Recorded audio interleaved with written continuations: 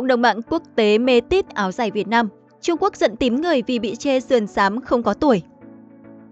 Việt Nam tự hào khi sở hữu nhiều bản sắc văn hóa truyền thống. Điều này không chỉ giúp tôn vinh giá trị và quảng bá văn hóa đất nước con người Việt Nam trước bạn bè quốc tế, mà còn là cơ sở để chúng ta thêm tự hào về quê hương đất nước mình.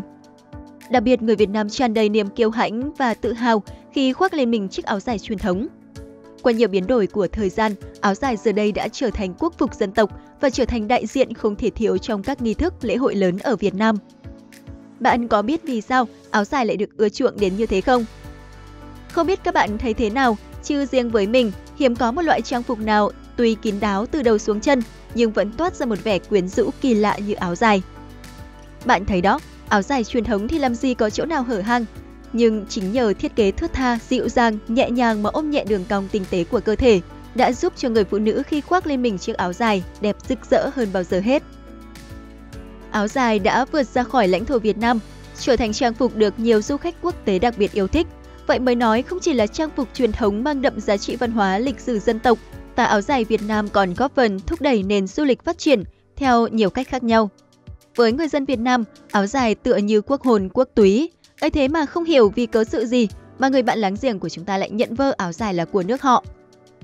Mọi chuyện bắt nguồn từ một bộ sưu tập đến từ thương hiệu New Tiger, Trung Quốc, đã được giới thiệu trong khuôn khổ tuần lễ thời trang Trung Quốc Xuân Hè 2019.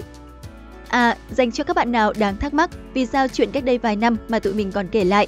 Để mình nói cho các bạn nghe, chuyện gì cũ thì mình nhắc lại cho nó mới, đúng không nhỉ? Các bạn xem video này thì có thể thấy, xuất hiện trên sân khấu là một loạt các thiết kế giống y chang áo dài Việt Nam. Từ kiểu dáng, họa tiết đến các phụ kiện đi kèm mang đậm dấu ấn văn hóa Việt như nón lá hay mấn đội đầu. Mắc cười hơn cả là nhiều người Trung Quốc lại tưởng tượng rằng đây là sườn xám cách tân của bọn họ. Nhưng bạn nhìn thì cũng thấy rồi đó, vậy là sườn xám giữ chưa? Đang nói hơn, truyền thông Trung Quốc đã đưa tin về loạt thiết kế này với tiêu đề Phong cách Trung Quốc làm mê mẩn tuần lễ thời trang xuân hè. Khỏi phải nói cụm từ phong cách Trung Quốc đã khiến người Việt Nam phẫn nộ đến mức nào. Thử hỏi, thiết kế như vậy thì khác gì là hành vi ăn cắp văn hóa? Được cười hơn là gì bạn biết không? Truyền thông xứ Trung đã tung hô các thiết kế này được lấy cảm hứng từ trang phục thời Minh và sườn xám thời nhà Thanh, sau đó kết hợp với các phụ kiện khác nhau như quần dài, mấn, nón để làm thêm phần độc đáo. Mà gần đây không hiểu vì lý do gì mà chuyện này được đào lại và đồng thời thu hút được rất nhiều ý kiến từ cư dân mạng quốc tế. Hãy cùng xem họ nói gì về hành động nhận vơ này của người Trung Quốc nha.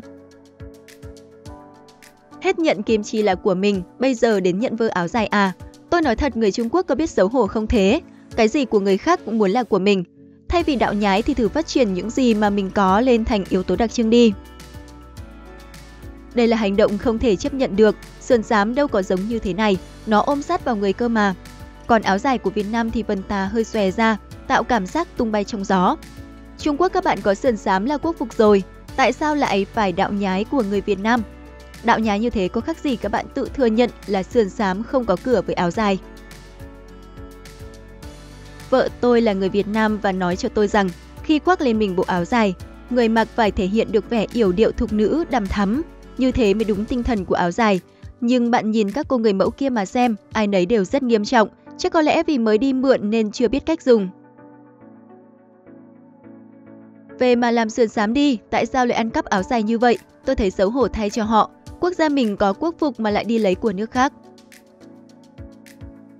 Rồi đố bạn, sau khi nghe được cư dân mạng quốc tế nói như thế thì netizen Trung Quốc đã có thái độ như thế nào không? Dĩ nhiên là như ngồi trên đống lửa và ăn cả đống ớt rồi. Vì sao ư? Vì cay.